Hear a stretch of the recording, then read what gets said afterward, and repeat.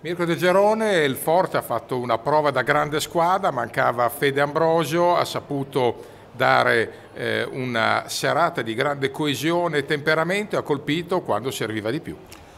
Abbiamo dovuto gestire la, la, gara in una certa maniera, naturalmente non possiamo permetterci in queste condizioni di dare spettacolo, ma do, abbiamo dovuto gestire bene la parte difensiva e cercare, come dicevi te, di colpire quando c'era il momento giusto e c'era il varco.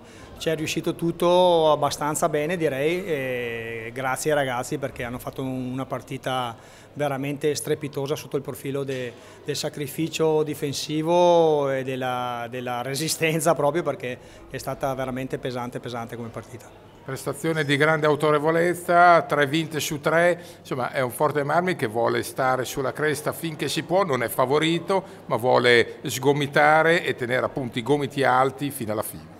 No, noi eh, procediamo sulla nostra strada con i piedi molto per terra, eh, sappiamo i nostri limiti ma sappiamo anche le nostre qualità, quindi non vogliamo abdicare facilmente, abbiamo delle compagini sicuramente più attrezzate di noi, io penso che su tutti il Trissino eh, Lodi, Follonica sicuramente e qualcun'altra magari, però non abbiamo voglia di, di, arrenderci facilmente e lo abbiamo dimostrato anche stasera. Al volo hanno segnato, sì certo, il veterano Eric Tornel, ma anche due giovani di grande prospettiva, Andrea Borgo, lo stesso Diego, insomma è una squadra che guarda anche al domani.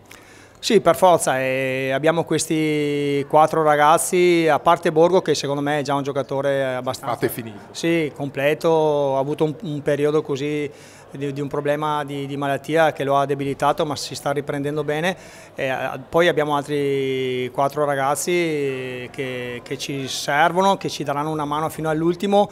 Diego in questo momento è quello che sta meglio degli altri, lo ha dimostrato, ha fatto anche gol, più di così non poteva sperare.